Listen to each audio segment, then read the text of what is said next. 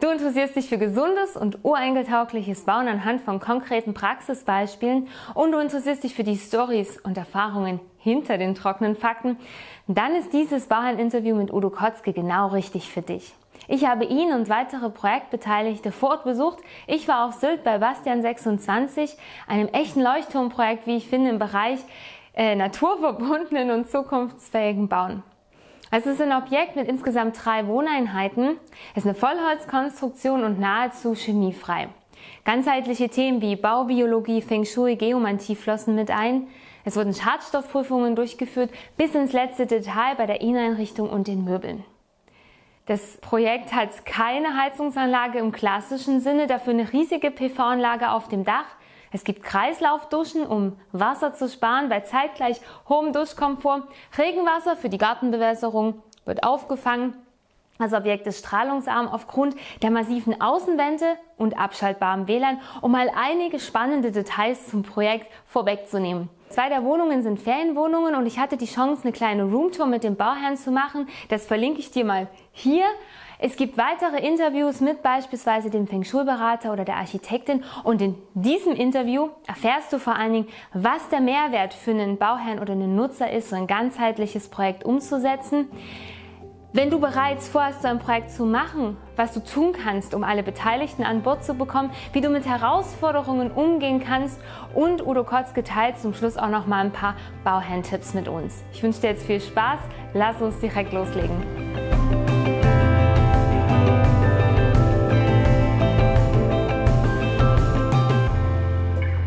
Hallo und herzlich willkommen, Udo Kotzke. Ich freue mich, dass ich heute hier sein darf, dass ich dich besuchen kann im wohl, ich glaube, ich darf sagen, gesündesten und nachhaltigsten Haus von Sylt.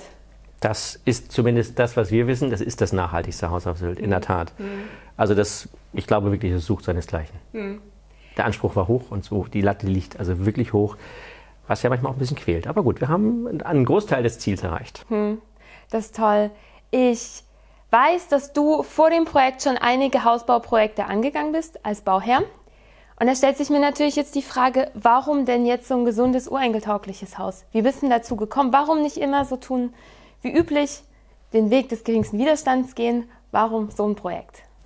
Das ist gut, eine gute Frage, weil es, das ist ja so ein Teil der Entwicklung, meiner eigenen Entwicklung, über das Thema Ernährung, über das Thema Gesundheitssystem und all das, was dahinter steckt, Pharmaindustrie, bin ich auf Bauindustrie gekommen und habe entdeckt, wie viel, eigentlich wie viel Schadstoffe wir verarbeiten und verbauen. Und im Rahmen der Sanierung von alten Häusern ist es schwer oder nicht immer möglich, sie zu vermeiden.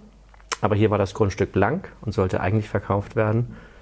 Und ich bin ganz froh, dass es nicht gekauft wurde oder nicht verkauft wurde. Und dann hat ein Freund mir die Empfehlung gegeben, den Film von Erwin Thoma mal anzugucken. Und so kam ich überhaupt drauf. Und da war ich angefüttert ja, wie so ein Fisch, der angebissen hat und dann ging es los. Und dann habe ich die Messlatte, ja, dann haben wir uns alle Themen angeguckt und haben gesagt, was da alles geht, ist irre. Und dann geht es auch nicht mehr anders. Wenn man weiß, dass die Herdplatte heiß ist, dann fasst man freiwillig nicht drauf. Und wenn man, also wenn ich weiß, es geht besser, es geht gesünder, es geht schadstofffreier, es geht nicht ganz ohne, aber wir konnten so, ich sag mal so 90, 95 Prozent weglassen. Und das ist schon, mhm. quälen wollte ich mich nicht. Es geht auch 100, aber das ist, dann kommt man, glaube ich, nicht wirklich zum Bauen. Mhm. Dann verstolpert man sich bei den, bei den Themen, die einfach, ich sag mal, so ein Kabel, da ist ein Weichmacher drin. Am Ende ist das auch eine Form von Baugift. Ja. Aber wer will ohne Kabel arbeiten? Ja, wir können das tun, was wir jetzt schon tun können und der Rest, der wird dann später noch kommen in der Entwicklung. Du hast gerade schon das Thema Gesundheit und Schadstoffe angesprochen als Problem der aktuellen Bauindustrie. Aber es geht ja noch weiter. Was sind denn in deinen Augen so die Herausforderungen, die das Bauen aktuell hat, das konventionelle Bauen? Jetzt mit dem Gedanken auch der Nachhaltigkeit. Mhm. Also ich glaube, das größte Thema ist ähm, das Thema Giftstoffe, die wir verbauen. Mhm. Als ich mich damit beschäftigt habe, wurde sehr, sehr klar und sehr schnell sichtbar, ganz einfache Sachen auf Dämmwolle. Da ist tatsächlich auf dem Verarbeitungshinweis die Pflicht oder die Empfehlung ausgesprochen, eine Atemmaske also eine Staubfilter zu tragen. Jetzt muss man sich vorstellen, das verbauen wir ins Haus. Jetzt mag der eine sagen, naja, ist ja hinter der Rehgipswand, aber wenn ich da ein Loch durchbohre oder ich habe Lücken oder es gibt in irgendeiner Form eine Form des, der Luftwechselrate, die entsteht, dann, dann wird genau dieser Giftstoff ins Haus getragen. und das ist atemwegsgängig. Dann habe ich geguckt, was macht das eigentlich? In der Tat ist die Steinwolle, auch die Glaswolle, atemwegs ist so fein, dass sie aus den Atemwegen nicht wieder rauskommt. Das heißt, wir vergiften unseren Lebensraum.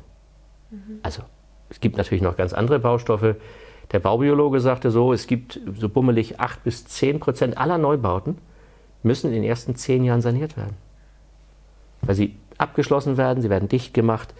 Es gibt zu viele Ausdünstungen. Wie viele Menschen wohnen in neuen Häusern und haben Probleme? Haut, Atem, Gesundheit, Erkrankung, Nerven, Schlaf, ganz vielfältig. Mhm. Und wenn man sich dann anguckt, wie hoch die Last ist, die Giftlast, ist unfassbar. Mhm. Wow, du bist da ja schon richtig tief eingestiegen, also dass dich das auch richtig im Kern ähm, erschüttert hat, möchte ich fast sagen. Ich habe jetzt verstanden, du warst Feuer und Flamme, du wolltest ein richtig gutes Haus bauen, ein gesundes Haus. Mhm. Jetzt stelle ich mir das allerdings schwierig vor, da alle Partner an Bord zu kriegen. Ne? Also Baufirmen zu finden, die da Bock drauf haben, Architekten zu finden, vielleicht auch Statiker, äh, das Bauamt zu überzeugen. Ähm, wie hast du es geschafft, äh, die Leute alle an Bord zu kriegen? Und hast du vielleicht auch gleich mal direkt für zuhörende Bauherren einen Tipp, was sie tun können, wenn sie eine verrückte Idee haben, so wie du hier, ähm, wie sie eben alle Leute so auf mhm. ihr Schiff holen und lossegeln können. Ja, das ist gut, weil die, in der Tat, ich glaube nicht, dass die Idee verrückt ist. Das hat sich gezeigt zu der Zeit, als ich das Haus geplant habe. Das hat also, als der Beschluss gefasst wurde, bis wir angefangen haben zu bauen, hat gut zwei Jahre gedauert. Mhm. In der Zeit dazwischen war ja die Frage, wie eigentlich? Und 2018, mhm. 19 gab es überhaupt gar keine Handwerker, weil alle haben gesagt, Mensch, alle haben Geld und die Firmen liefen und Material war da und alle waren wahnsinnig beschäftigt. Und dann komme ich mit meiner Idee um die Ecke und habe gedacht, ich müsste es jetzt 10 oder 15 oder 20 Gewerken und Firmen erklären. Ja, dann muss ich mich bzw. mein Produkt verkaufen, in Anführungsstrichen verkaufen. Und dann bin ich äh, zu einer anderen Form übergegangen. Ich habe gesagt, vielleicht gibt es Menschen, die auf diese Idee Lust haben. Und habe eine Freundin von mir, die macht äh, so, so, Trainings und äh, so Teambuilding-Geschichten. Und habe gesagt, lass uns doch vielleicht eine Veranstaltung machen in der wir das Projekt vorstellen und sagen, so nachhaltig wie es geht, so schadstoffarm wie irgend möglich, so energieeffizient wie möglich und haben in zwei Stunden vorgestellt, was wir vorhaben. 25 Beteiligte bzw. Firmen waren bei der Veranstaltung. Meine Freundin Anna sagte dann nach ungefähr zwei Stunden, so stellte sie die Frage, wer hat Lust mitzumachen? Und, und, und wirklich unisono. Alle haben die Hand gehoben und gesagt, wir sind dabei. Und da habe ich gedacht, cool, die Idee ist ja, die ist nicht verrückt. Es muss nur einer aussprechen, es muss nur jemand anbieten. Also es war ja ein Angebot meinerseits an die Firmen, an und mit diesem Projekt zu, zu lernen und zu wachsen. Und das haben wir alle getan. Jeder hat irgendwie ein Stück weit gelernt, hat neue Wege beschritten. Also ein ganz verrücktes Beispiel, der, äh, der Ehemann von der Architektin hat in seiner Architektenroutine über den Plan geguckt ein Vierteljahr nachdem der Plan fertig war und der erste Blick war so in, seine Arbeits, in seinem Arbeitsalltag, wo ist denn der Heizungsraum, wo ist denn eigentlich jetzt die Heizung? Weil der denkt natürlich Heizung, der guckt auf so einen Plan, das ist ja klar, ist die alte Welt. Und bis das ins Bewusstsein der Beteiligten eindringt, dass ein Haus ohne Heizung funktioniert, ohne Konvention, ohne Lüftungsanlage.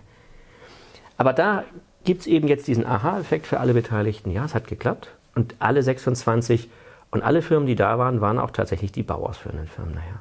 Oh, wow. Auch noch, auch noch 26 Firmen bei dem Projektnamen Bastian 26. Ist das Zufall? Ne, nee, also witzigerweise, es waren 25 tatsächlich beteiligte Personen und Firmen. Und die Leiterin dieser, dieses Teambuildings hat nachher, wir haben noch einen Teamnamen, der, das, das Team hieß B26. Mhm. Weil B für Bastianstraße, ein Haus und 25 beteiligte Firmen. Und das ergab dann die Zahl 26. Es ist ja auch die Bastian 26. Naja, dann gab es einen Schlüsselanhänger, damit jeder sich damit identifizieren kann, damit jeder weiß, das ist der Schlüssel für die Baustelle. Natürlich aus Holz, klar. Ja, logisch. Cool, ihr habt quasi, ihr habt eine Identität für das Projekt geschaffen und jeder wollte Teil davon sein. Und dann ist der, ist der Rest eigentlich automatisch gekommen. Hat sicher auch geholfen, um Herausforderungen zu lösen, oder? Ich meine, auf einer Baustelle wissen wir alle, da gibt es immer mal Reibereien und Probleme. Hat das da geholfen? Ja, auf jeden Fall. Also ich, ich glaube, ich glaube, Grund, die Grundausrichtung war lösungsorientiert, weil es war allen klar, es wird nicht Standard. Es war allen auch klar, wir müssen in Lösungen denken, mhm. weil wenn wir in Problemen denken, dann sind wir in der alten Welt verhaftet. Ähm, hier braucht es neue Wege. Mhm. Also war es erstmal äh, nach vorne orientiert. ich habe einen der schönsten Kommentare. Ich habe nachher in so einer Runde äh, die Pflaster, aber also nein, ich habe viele Handwerker gefragt, was denen auf, an dieser Baustelle am meisten gefallen hat. Und ich habe Gerd gehabt, ich würde sagen, Gerd, verzeih mir, wenn ich ein Alter verrate, rund 65, ja. Der macht Pflasterarbeiten. Und in seiner, ich sag mal, in seiner bodenständigen friesischen Art hat er mir in seinem friesischen Deutsch gesagt, das Schönste auf der Baustelle hier war, dass das hier nie jemand geschrien hat. Und hier ging das immer friedlich zu und das ist so eine schöne Atmosphäre. Wo ich gedacht habe, genau das ist aber, das war wirklich, es war ein Zeugnis für das Miteinander. Ja, es gab Probleme, aber es gab jetzt keine, keine Unruhe, es gab kein Schreien, keine, keine Übermächtigung und sowas. Und Gerd hat es ja schön auf den Punkt gebracht. Das ist friedlich hier. Ja. Das finde ich auch so schön an so gesunden, urenkeltauglichen Bauprojekten, das ist auch die Erfahrung, die ich gemacht habe. Das geht nicht nur darum, dass das Ergebnis am Ende stimmt mhm. und irgendwie für unsere Urenkel verträglich ist, sondern dass schon allein der Planungs- und Bauprozess ist so ein schönes Miteinander, so in Verbindung sein, so was Gemeinschaftliches. Wie ich vorhin auch schon gesagt habe, ne, die Leute haben sich mit der Idee am Ende identifiziert, die waren Teil davon. Und das macht ja auch was aus, ne? Wir verbringen so viel Zeit bei der Arbeit, wenn wir dann auch mit Freude dabei sind, sagen, hey, wir haben hier was geschaffen und gehen nicht abends frustriert nach Hause. Ja, und genau, das ist und das als, als eine Art Startpunkt zu begreifen. Mhm. Wir haben ja Reinhold Andresen als Feng Shui-Berater, der hat irgendwann gesagt, Udo, du ahnst vielleicht noch gar nicht, aber ich sehe das schon, was das mit den Beteiligten machen wird für die Zukunft. Was das in der Nachbarschaft machen wird. Mhm. Weil das Haus hat durch seine Art, wie es gebaut ist, wie es ausgerichtet ist, ähm, hat eine eigene Energie. Hm. Und hier geht es nicht um Konkurrenz. Hm. Hier geht es nicht um Übermächtigung, nicht um höher, schneller, weiter. Hier geht es um Kooperation, hier geht es um Miteinander, eben auch so mit der Nachbarschaft. Und diese Entwicklung, die er prognostiziert hat, also aus diesem Team, wir haben ja Videos gemacht zum Beispiel, wie wird es gemacht und Veranstaltungen und sowas, ist ähm, ein Kameramann gewachsen, Hannes Drews mit seinem Vater zusammen, die Firma FrameRay, die haben, der hat mit 18 Jahren eine Firma, oder knapp 18 eine Firma gegründet. Die haben einen eigenen Kanal aufgemacht. Die haben diese ganze Bauphase begleitet und sind innerhalb dieser Bauphase so sehr gewachsen. Und da ist so viel Selbstsicherheit auch aus dem Hannes, aus dem Sohn gewachsen, dass der gesagt hat, ich mache das jetzt auf eigenen Beinen selbstständig. Das ist so ein Teilbeispiel. Mhm. Selbst der Feng Shui-Berater sagt, du glaubst gar nicht, was es mit mir gemacht hat. Mhm. Weil wir natürlich eine Öffentlichkeit erreichen durch die Homepage. Mhm. Das war ja auch Absicht. Findet es Verbreitung und auch er findet andere Ansprachen. Der Geomant. Also es gibt so viele, die Handwerker sowieso. Also glaube ich zumindest, die meisten, nicht alle. Ne? Das alles macht, äh, macht Wachstum. Und zwar aus meiner Sicht in die richtige Richtung. Ja. Weil es weggeht, ich nenne es mal die alte Welt, höher, schneller, weiter, es muss um Vermögen gehen, es muss um, um, um Mehrwerte gehen. Nee, es gibt ja ganz andere Dinge im Leben, die uns glücklich machen. Ja. Was zum Beispiel? Was Dieses Miteinander zum Beispiel. Was macht genau? Ja. Kooperation. Hm. Wenn ich anrufe, freuen, also ich habe das Gefühl zumindest, dann freuen die Hand die Firmen sich. Hm. Ja? Sehr schön. Weil es eine Wertschätzung gibt. Genau. Über das Projekt und natürlich auch hm. von mir. Jetzt haben wir schon sehr viel Schönes, Emotionales gehört. Du hast schon angesprochen, das, Holz, äh, das Haus ist aus Holz, aus Vollholz. Mhm. Richtig dicke, massive Wände. Wir haben kaum Haustechnik. Da wirst du uns sicher auch gleich ein paar Zahlen nennen. Und das Schöne ist, hast du auch gerade angesprochen, Feng Shui. Da wäre jetzt nochmal, bevor wir auf die Details eingehen, meine Frage. Die eine Sache ist ja zu sagen, hey, ich baue jetzt irgendwie ein Haus aus Naturmaterialien. Da habe ich ja schon mhm. viel gekonnt. Wie bist du drauf gekommen, jetzt auch noch das Energetische mit reinzuholen, also Thema Feng Shui, Geomantie? Gab es da einen besonderen Impuls? Mm, nee, das, das muss ich direkt mal überlegen. Gab es einen besonderen Impuls? Also Feng Shui war insofern klar, als dass ich davon überzeugt bin, dass alles seine eigene Energie hat mhm. und dass wir einfach gucken müssen, dass es zusammenpasst. Mhm. Also so eine, so eine Erinnerung an meine Kindheit ist, dass ich die Haustür aufschließe, die Wohnungstür aufschließe ohne dass ich meine Eltern gesehen habe, hm. wusste ich, hier ist dicke Luft. Da ist irgendwas los. Ja? Und das ist auch eine Form der Energie, die man spürt. Die kann man nicht sehen, die kann man auch, also kann ich nicht messen, vielleicht kann man sie messen. Und wir wissen, was Farben mit einem machen. Menschen haben Lieblingsfarben.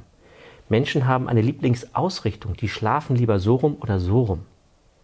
Das, das kennen wir alles, aber so richtig erklären, beziehungsweise das können wir für uns vielleicht machen, aber in eine in eine Art Gemeinnutzen fürs Ganze umzusetzen, das geht, das kann ich nicht. Mhm. So, also stellt sich natürlich die Frage, wer kann diese Energiefragen beantworten? Energie ist ja nur, Strom ist ja auch nichts weiter als, ich weiß nicht, eine elektromagnetische Welle ist die andere Form der Energie. Ne? Wasser ist eine Form der Energie. Es fließt. Ja. Es fließt unter der Erde Wasser. Ich werde nie vergessen, wir hatten eine Wasserader unter dem Haus, ähm, wo, ich, wo die Kinder auch groß geworden sind. Da wurde nur das Bett umgestellt, weil jemand in der Wünschelroute durchgelaufen ist und gesagt hat, hm, da unter ist eine Wasserader, stell mal das Bett um. Und schon war das Thema Bettnissen erledigt. Wow. Mit einmal. Hm. Wir sprechen von sofort. In der darauffolgenden Nacht war alles vorbei. Wie alt waren deine Kinder? Ich weiß nicht, äh, zweieinhalb, drei. Also hm. es war so, dass die Eltern, die Eltern haben ja so maxi, so Ideen, wann sollen die trocken werden und irgendwie so ein Alter war das, glaube ich. Okay. Wo wir gesagt haben, jetzt muss Schluss sein hm. und wir wussten uns nicht weiter zu helfen als diesen äh, Wünschelroutengänger. Und da kann man sehen, tatsächlich gibt es diese. So, und deswegen muss natürlich auch der Geomant her. Mhm. Und der hat uns gesagt, ganz spannende Geschichte, das Haus, nein, andersrum, das Grundstück war zum Zeitpunkt, als der Geomant kam, bereits abgeräumt, da war abgerissen. Mhm. Das Haus stand im westlichen Teil des Grundstückes. Der Geomant geht das Grundstück ab, gibt uns einen Plan und zeichnet und zeigt uns, in welchem Bereich das Haus auf gar keinen Fall stehen darf. Was der Geomant nicht wusste, ist, dass wir das Fenster bereit, das Baufenster gedreht hatten. Die Architektin hat gesagt, ach nee, müssen wir wirklich? Ja, nein, vielleicht. Das wird schwierig, eine B-Planänderung bei der Gemeinde herbeizuführen. Wir haben das Baufenster gedreht per Antrag und ohne, dass die irgendwas von diesen Geomanten wussten, ohne dass wir wussten, dass wir überhaupt einen Geomant an Bord kriegen, hat die Gemeinde mit acht von acht Stimmen gesagt, ja, ihr könnt das Baufenster drehen. Dann kommt der Geomant und sagt, in diesem Bereich auf gar keinen Fall. Ich sage, warum nicht? Sagt er, in diesem Bereich gibt es eine elektromagnetische unterirdische Verwerfung. Das Haus steht dann immer in der Gefahr des Feuers, weil eine große Erdspannung da ist. Was der nicht wissen konnte, ist, das Haus ist 1928 gebaut worden damals. Es hat 1938 gebrannt und 1956. Das Haus in dem alten Baufenster hat zweimal gebrannt. Und der sagt zu uns, da darf das Haus auf keinen Fall stehen, weil sonst unterliegt es der Gefahr des Feuers. Wahnsinn. Und ich habe gesagt, yay, hm. gut, dass wir den Geomanten an Bord haben. Wir hätten es dann ja sowieso anders gebaut, hm. aber jetzt weiß ich warum. Und keiner wusste, weder in der Gemeinde noch die Architektin noch ich wusste warum. Wir wollten das Baufenster drehen. Es hm. fühlte sich einfach richtiger an. Und dann habe ich gedacht, guck mal, jetzt können wir uns vertrauen. Ja. Das Gefühl, das im Bauch sitzt, das kann man hier nicht erklären. Ja. So, und so kamen die an Bord. Also der Geomant kam über den Feng Shui-Berater. Hm.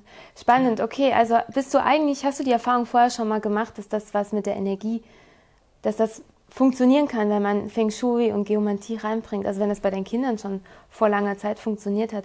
Schön. Also okay, war dir klar, das muss ein ganzheitliches Konzept sein. Jetzt haben wir ja schon eine Weile gesprochen, aber wir haben den Zuschauern, glaube ich, noch gar nicht verraten. Kannst du in fünf Worten, in fünf Sätzen sagen, was ist dein Haus?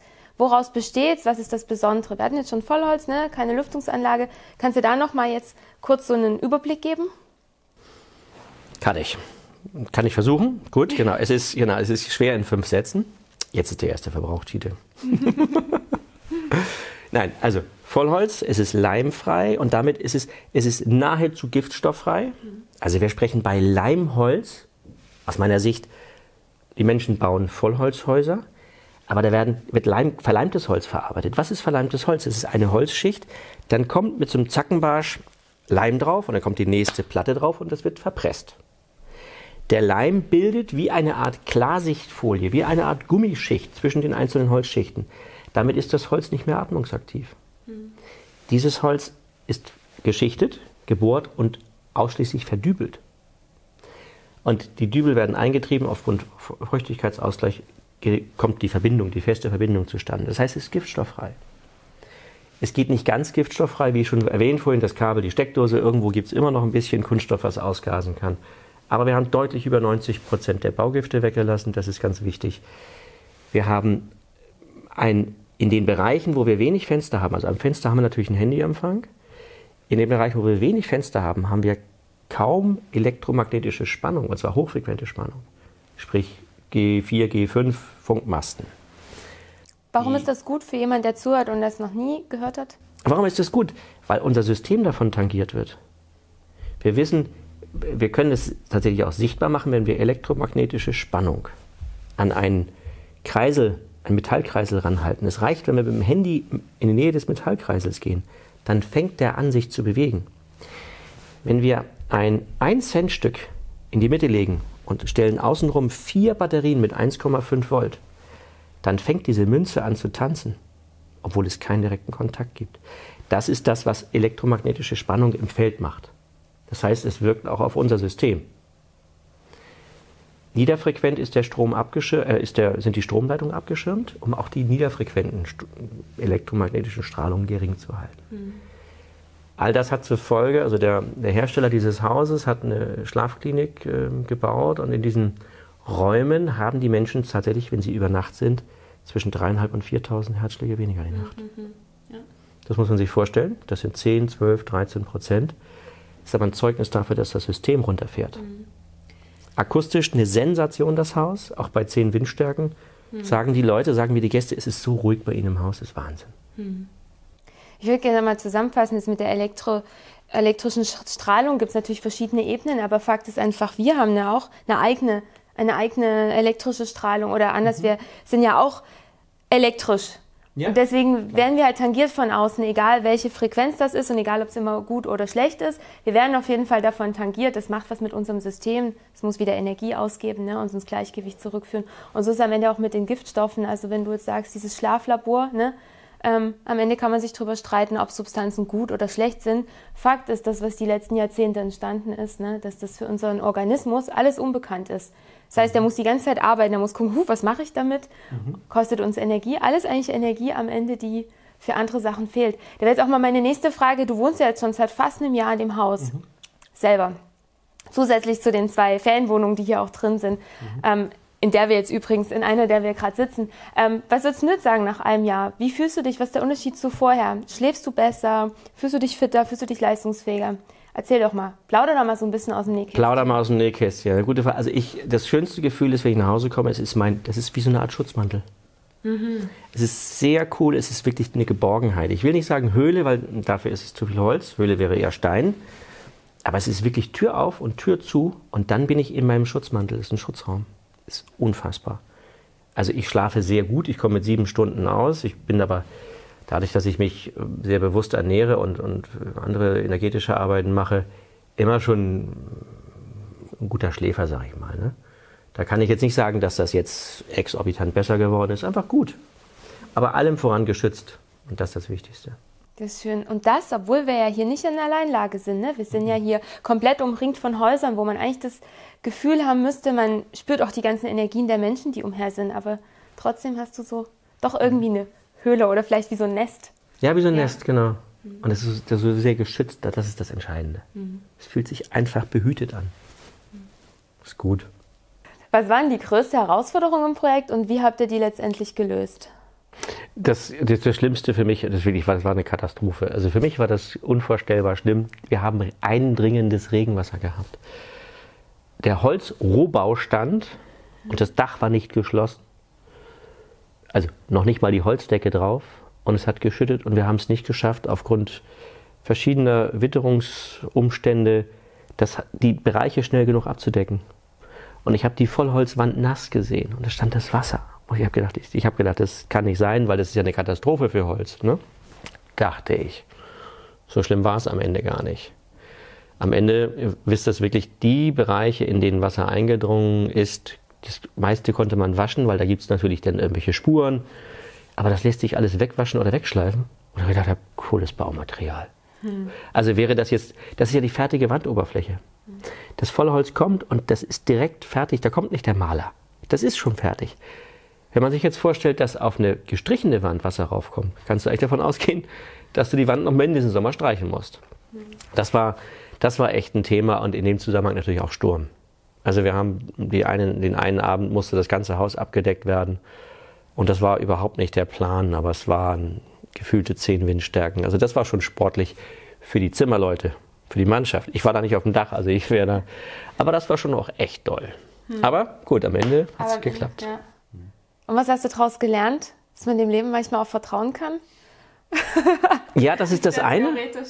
Ja, das, das man im Leben. Also ich glaube, am Ende wird sowieso alles gut. Wir wissen manchmal nicht, wofür wir die Aufgabe kriegen, aber am Ende wird es eh gut. Das klappt ja immer. Ich würde tatsächlich, wenn ich das nächste Mal so ein Haus baue, das, es gibt äh, die Möglichkeit, so ein Haus in eine Art Halle zu stellen. Das ist eine Gerüsthalle mit, mit einer Art Gerüstbrettverschalung, also so eine, so eine, so eine Kunststoffhaut. Ne? Hast du dir das schon mal kalkulieren lassen? Mm, Ja, ich habe in der Tat ein, ein Haus gesehen, was hier in der Stadt saniert wurde, was tatsächlich mit so einem fünf Etagen hoch, was überbaut wurde mit, einem solche, mit einer solchen Hülle. Und das macht in der Tat nur 5% der Baukosten aus, bietet aber gleichzeitig noch einen riesen Vorteil, weil man kann im Winter durcharbeiten. Wir hatten ja auch Schnee zwischendurch. Und da kann auch kein Dachdecker aufs Dach, wenn auf den Latten das Eis ist. Also es hat natürlich einen riesen Vorteil, um die Zeit einzukürzen. Auf der anderen Seite muss man ganz klar sagen, das Haus, wenn es eh 50 oder 100 Jahre stehen soll, dann kommt es auf zwei Monate nicht an. Aber einen Schaden zu verursachen und den zu beheben, ist in der Regel teurer, als dem vorzubeugen. Also je nachdem, wo man baut, ich würde so ein Haus wahrscheinlich so einhausen dann. Aber schön, ich habe jetzt verstanden, 50, 100 oder 50 bis 100 Jahre, vielleicht auch 150 Jahre hast du vor, dass das Haus steht. Also wirklich ein urenkeltaugliches Haus. Und Ja, ich habe auch zwischen den Zeilen gehört, du bist zufrieden und du würdest es nochmal machen. Das heißt, du würdest es auch weiterempfehlen. Du lädst ja auch in deinen Videos dazu ein. Bitte machen Sie es nach. Ist das so? Würdest du das einem Bauern wirklich weiterempfehlen? Ich würde nie wieder anders bauen. Ja, gut. Ich kann mir doch nicht mal vorstellen, Ja. nochmal wieder irgendwo anders einzuziehen. Weil ich, also es ist, das ist wie mit, der, wie mit der Herdplatte. Wenn man weiß, dass die heiß ist, dann fasst man freiwillig nicht drauf. Wenn ich weiß, das, was hier auf dem Tisch steht, nehmen wir Lebensmittel, wenn ich weiß, dass das nicht gut ist für mich, dass das giftig ist, dass das schlecht für meinen Körper ist, warum um Himmels Willen würde ich danach greifen?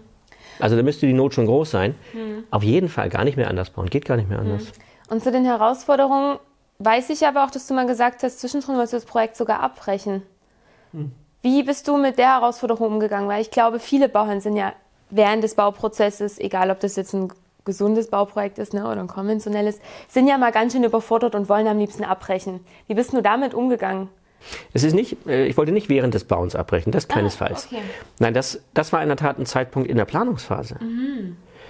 Und das war, wenn ich es richtig erinnere, sogar noch vor der Teambuilding-Zeit. Weil ich gemerkt habe, dass ich dieses Projekt jedem erklären muss. Und dann gibt es ja Widerstände. Ne? Wir haben das immer seit 50, seit 100 Jahren, selbst mein Großvater hat es anders gemacht.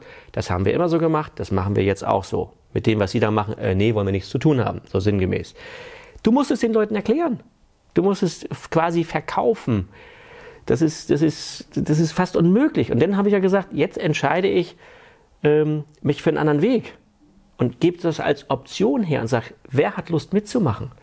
Und dann hat sich das umgekehrt. Und kurz davor war das, dass ich sagte, es ist mir es ist so wahnsinnig mühsam gewesen, die Leute von dem alten Weg beziehungsweise in den neuen Weg hinein zu, mit einzuladen. So, also habe ich gefragt, wer hat freiwillig Lust mitzumachen? Und dann ist quasi. Dann ging's. Dann ging's los. Okay. Und dann, dann ist es, lief es auch. Und das ist was anderes. Wenn ich dir erkläre, was du alles anders machen solltest, dann gibt es Widerstände. Da wirst du sagen, nee, habe ich immer so gemacht, lass mich doch zufrieden, mache ich auch weiter so. Wenn ich dir aber anbiete und sage, hier ist etwas, das könntest du anders machen, guck mal her, wenn es dir gefällt, beschäftige dich damit. Ja. Und jetzt wird's anders. Weil dann gibt es eine Freiwilligkeit. Und das ist der Weg, wie man die Leute mitnehmen kann, glaube ich. Und was war der größte Aha-Moment, wo du gesagt hast, wow. Also eigentlich hast du es ja vorhin schon gesagt, die Wand ist nicht abgesoffen. Das war ja auf jeden Fall ein Aha-Moment, oder? Ja. Gab es noch einen anderen? Das ist eine gute, also wow ist sowas wie Feedback von den Leuten, ganz klar, ähm, dass das ganz vielfältig ist, dass, ähm, dass die Atmosphäre so besonders ist, dass das so, so, so schützend ist.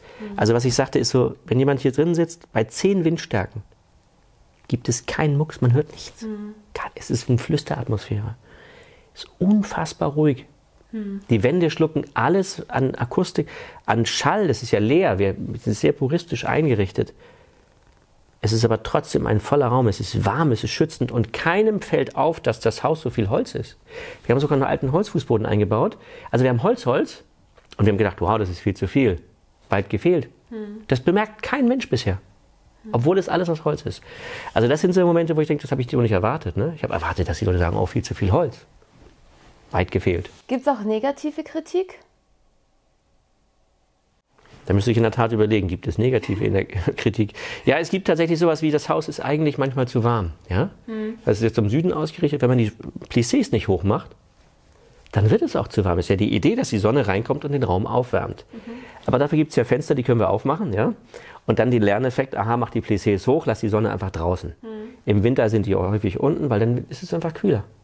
Ja. Ich habe jetzt gerade, wir haben gerade 8 Grad Außentemperatur. Ich hatte vergessen, die Plissés hochzumachen. Und ohne Heizung, ohne alles haben wir 23 Grad drin gehabt bei mir. Mhm. Wofür bist du am meisten dankbar bei dem Projekt? Für meine Entwicklung. das war ein ist ein Lebensretter. Also gerade in dieser besonderen Zeit, die wir jetzt hatten, die letzten zwei Jahre, konnte ich mich mit einem positiven persönlichen Entwicklungsthema, also ne, das Haus ist ja nur das, das Medium der eigenen Entwicklung, dem konnte ich mich widmen. Und ich hatte was kreativ Gutes, was ich in die Welt bringen konnte. Und irrsinniges Feedback. Ich weiß nicht, wie viele tausende Zugriffe auf die Homepage. Ich weiß nicht, ob wir schon bei 100.000 sind. Das zeigt ja, dass Interesse da ist. Es zeigt irgendwie, dass es richtig ist. Da ist Neugier und so. Das ist cool. Das ist mhm. gut. Es mhm. fühlt sich gut an. Ja, man merkt das. Du sprühst auf jeden Fall. Wenn du von dem Projekt sprichst, da ist Feuer, da merkt man, du hast eine innere Leidenschaft. Das ist total schön und inspirierend. Abschließend möchte ich dich gerne nochmal drei, nach drei Tipps fragen für einen Bauherrn, der jetzt zuhört. Der sagt, hey, gesundes, ureingetaugliches Bauprojekt klingt super, will ich auch angehen. Was wären so drei Tipps, die du ihm mit auf den Weg geben würdest? Drei Tipps. Also vielleicht wäre es einer, vielleicht und doch, vielleicht sind es auch zwei. Also, das erste wäre, trau dich. Nice. Weil das ist echt, also diese, diesen Punkt der Überwindung, dann sagt der, oh, der Architekt sagt, oh, kostet 10 oder 15 Prozent mehr, dann entdeckst du auch vielleicht doch 20 oder 18. Dann kommt die Gegenrechnung, ah, ich brauche ja keine Heizungsanlage, ich brauche keine Lüftungsanlage, okay. Was die Unterhaltungskosten, was die Wartungskosten, was die Nebenkosten angeht, dann kommt in der anderen Seite die Bilanz, auf der anderen Seite die Bilanz, hm, wie viel autonom, aut autarker werde ich eigentlich, ja? Also ich brauche keinen Wartungsdienst, was ja total cool ist, macht mich frei. Und dann gibt es so diese Abwägung im Kopf. Und die heißt Zahlen, Daten, Fakten gegen Nutzen und das wird alles abgewogen. Und der Bauch ist unberücksichtigt. Und irgendwann kommt der und sagt, willst du oder willst du nicht? Jetzt weißt du, das kostet 18 Prozent mehr. Also kognitiv ist fertig, Haken dran. Und dann kommt die Entscheidung des Bauches. Und er hat ganz klar gesagt, ja. Und heute würde ich das anders machen. Heute würde ich erst meinen Bauch fragen, das Ziel definieren und dann würde ich loslaufen und den, die Preisdifferenz, das ergibt sich alles, das ist natürlich Teil dessen. Klar, musst du, musst du mit dem Blick behalten. Aber ich würde es andersrum von der Reihenfolge machen. Ich komme aus der alten Welt, aus dem Rechnen, Zahlen, Daten, Fakten, das ist alles meins. Den Bauch habe ich verlernt, ne? so, dem habe ich mal zu beachten. Hast ihn wieder reingeholt. Den habe ich wieder reingeholt. Und ich weiß jetzt so, das ist, das ist ein gutes Gefühl. Hm. Und viele Dinge, die wir gefühlt und gespürt haben, hm. haben sich nachher auf der Linie des, der Beweisführung als richtig und äh, gezeigt. Ne? Okay, also Tipp Nummer eins wäre trau dich und hör auf deinen Bauch. Und was wären zwei weitere? Oder ist das schon Tipp Nummer zwei, hör auf deinen Bauch? Ja, Tipp Nummer zwei wäre Scheiß aufs Geld. Weil okay. es ist wirklich, ja, es ist schlimm. Wir begrenzen uns. Wenn wir, wenn wir in Geld denken, dann wir können ja nur in eine Richtung gucken. Wir können ja nicht nach hinten gucken, nach links, nach rechts. Geht nicht, mit dem Kopf wenden. Weil wir lernen ja, dass das Geld den Wert, den, er, den es gestern hatte, vorgestern, vor drei Jahren, vor 30 Jahren hatte, gar nicht morgen hat. Schaffe einen Wert für die Zukunft, unabhängig vom Geld. Und zwar einen Wohnwert, einen Wohlfühlwert für, für dein eigenes System, für deine Nachfahren. Und ich glaube, das ist viel mehr wert als heute, wenn man es dann finanzieren kann, äh, ein paar Euro mehr. Mhm. Das ja. ist, glaube ich, Scheiß aufs Geld. Ist auch ein guter Tipp, glaube ich. Ja, ist auch gut, finde ich, Thema wertvoll bauen. Ne? Nicht billig bauen, sondern wertvoll bauen, damit du auch einen Wert von deinem Haus hast. Was nützt dir es, ein Haus zu bauen, was du nach zehn Jahren sanieren musst? Okay, aber ich will gar nicht reinquatschen. Tipp Nummer drei. Zum Wert, ne? Ganz kurz. Ich habe wertvoll bauen, ne? Ich habe einen alten Mercedes, der ist 40 Jahre alt. Der fährt heute noch. Das war damals schon ein sehr teures Auto.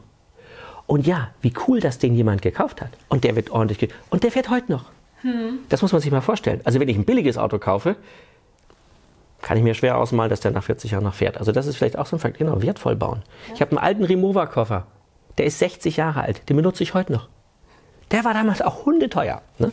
So, Tipp Nummer drei, weiß ich nicht. Haben wir noch was? Coole Mannschaft, gute Energie. Ja. Sei dankbar, wertschätzend so. Ja. Den Leuten gegenüber. Gute Mannschaft ist ein guter Tipp. Ein Haus baut sich einfach nicht von alleine. Es ist handgebaut. Hm. Da ist ein Kran, der hilft, die schweren Teile zu tragen. Hm. Aber es ist handgemacht.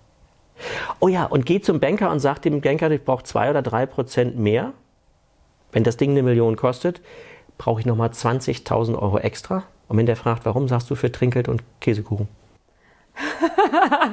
das ist ein, fast ein gutes Abschlusswort. Danke dir, Udo. Ähm, ich habe tatsächlich noch meine Abschlussfrage, die ich auch allen frage, ist immer, ne, wir sind ja viel im Wandel und ich versuche ja hier Menschen und Projekte zu zeigen, die einfach anders bauen, als es so in der breiten Masse bisher in der Wahrnehmung ist. Und jetzt wäre meine Frage, was ist denn deine Vision für eine gebaute Umwelt von morgen? Also vor allem über Kreislaufwirtschaft nachdenken. Mhm. Also ich sage mal am Beispiel des, der Elektrobatterie, des Batterieautos. Das war damals bei der Atomkraft, ist es, ist es, sollte es verhindert werden durch Demonstrationen, weil man hatte kein Entsorgungs- oder Verwendungskonzept nach der Gebrauchszeit. Also, welches Material verwende ich, um heute einen Nutzen zu generieren? Wo kommt das her? Wie wird es erzeugt? Aus Erdöl oder wird es aus Holz? Ne? Wir sprechen von Natur und von. Wird daraus Plastik? Und wenn ja, wie kann ich das in der Zukunft verarbeiten? Vielleicht dürfen wir wieder über Hanf nachdenken, über Stroh nachdenken. Es gibt Akazien, es gibt Klamotten, die werden aus Akazien hergestellt. Weißt du so, es wird, aus Hanf werden Kunststoffimitate hergestellt, die man, es gibt Folien, es gibt eine Folie von einem japanischen Hersteller, die man nach Gebrauch in der Erde vergräbt, die wieder mineralisch wird. Also das zu beachten, natürliche Kreisläufe, das wäre mein größter Wunsch für alles, was wir machen, nicht nur bauen. Ja, schön. Danke dir, Udo. Sehr gerne. Ich danke dir. Bist du auch so inspiriert wie ich? Wenn es dir ähnlich geht wie Udo, dann warte nicht länger und starte durch.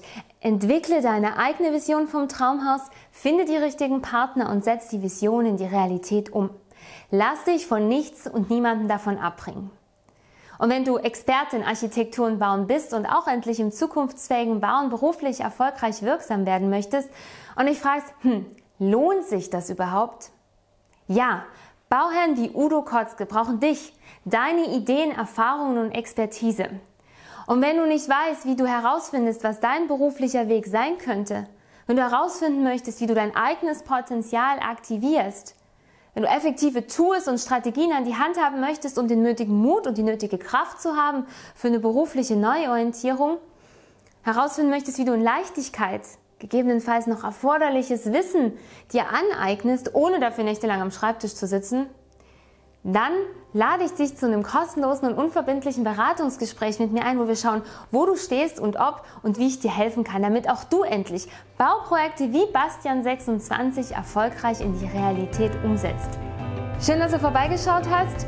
Mehr Inspiration unter anderem zu Bastian 26 findest du hier und wir sehen uns im nächsten gemeinsamen Video.